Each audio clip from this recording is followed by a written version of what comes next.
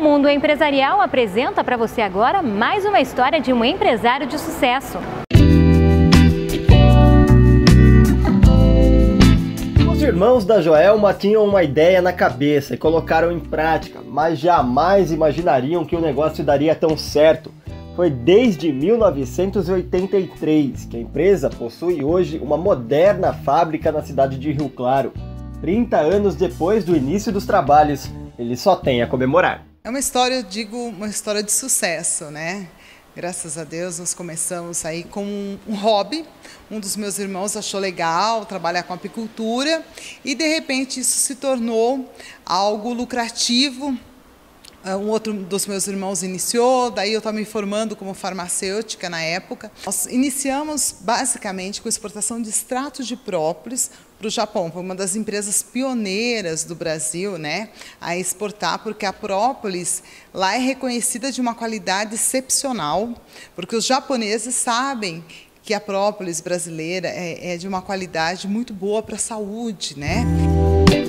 Trabalhar com o comércio e produção de mel não é coisa fácil. A equipe tem que ter bastante certificados, as práticas de fabricação, as práticas de manufatura e também que garante que a empresa cumpra todas as normas exigidas pela legislação e pela fabricação de alimentos seguros. Na China e em outros países tem muito resíduos, tem antibiótico, tem pesticida, o produto não é natural.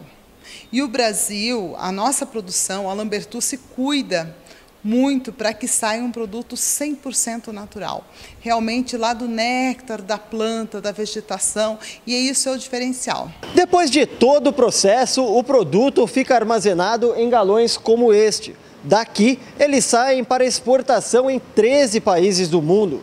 Todos os meses, a empresa produz em média 200 toneladas de mel. Aí o mel nós começamos trabalhando no mercado interno e depois nós exportamos para a Alemanha, para a Inglaterra, Canadá, Estados Unidos, vários mercados, muito exigente. E último, para nossa grande surpresa, hoje nós exportamos para a China. Desde a abertura no mercado, a empresa não para de crescer. Hoje, são 12 países que recebem os produtos de Rio Claro. Intenção é que mais deles continuem recebendo esse sabor inconfundível do bom mel brasileiro. E o Brasil também tem uma flora enorme. E isso produz o quê? Um mel realmente que vem da planta, que é isento de, de, de, poluição. Então, nós temos dois fatores muito bons. Somos do Brasil e temos certificações de qualidade que garante, e essa junção garante para o importador internacional que ele vai receber um produto de qualidade.